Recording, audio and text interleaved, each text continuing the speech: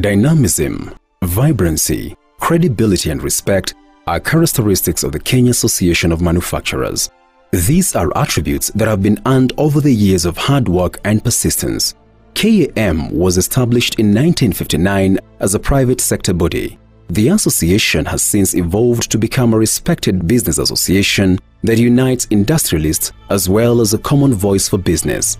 Indeed, Kenya Association of Manufacturers provides an essential link for cooperation, dialogue, and understanding with the government by representing the views and concerns of its members to the relevant authorities.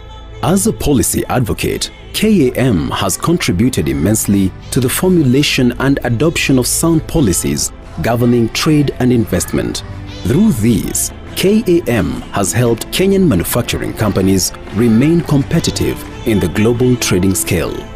Even as KAM celebrates its success, it remains cognizant of its humble beginnings. It was back in 1959 when a small group of businessmen met and agreed to establish a vehicle for the promotion of their interest. They formed what was then known as the Association for Promotion of Industry in East Africa, APIEA, with Mr. J.H. Dijik being the president. Through years, the association gained more recognition, later adopting its current name, the Kenya Association of Manufacturers. As part of its milestone, Dr. Joe B. Wanjui was later elected as the first African chairman. Through the years, there have been a number of people who have held the position of chairmanship.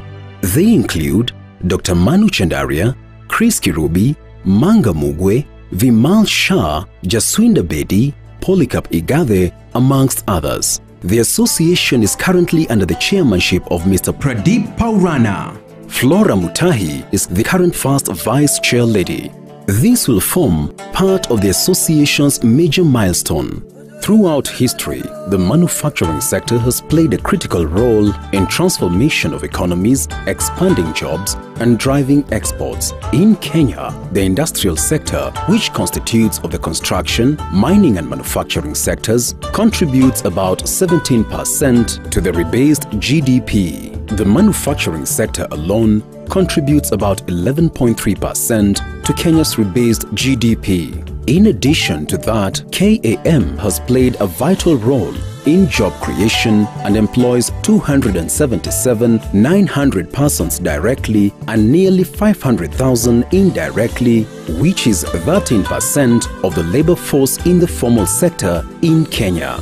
The sector also employs above 1.6 million people in the informal side of the industry. KAM has developed a manufacturing priority agenda, which are a comprehensive set of policies that will create an enabling environment for a robust manufacturing environment.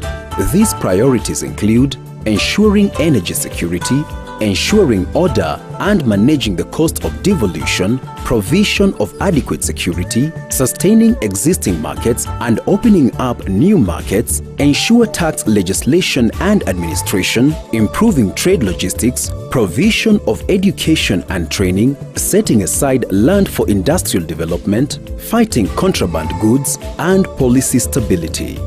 At KAM, these values are key innovation, effectiveness, responsiveness, and resilience.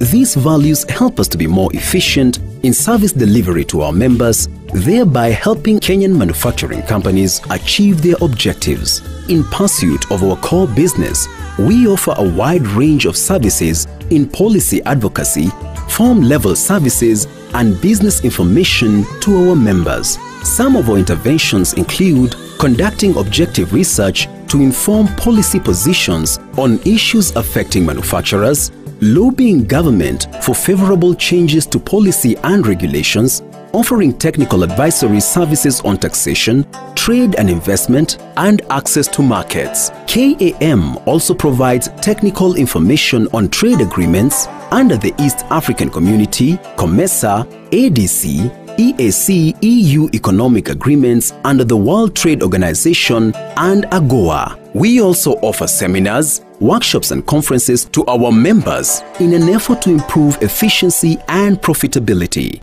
Through the Energy Management Awards, KAM seeks to promote reduced energy use, thus lowering member costs for production.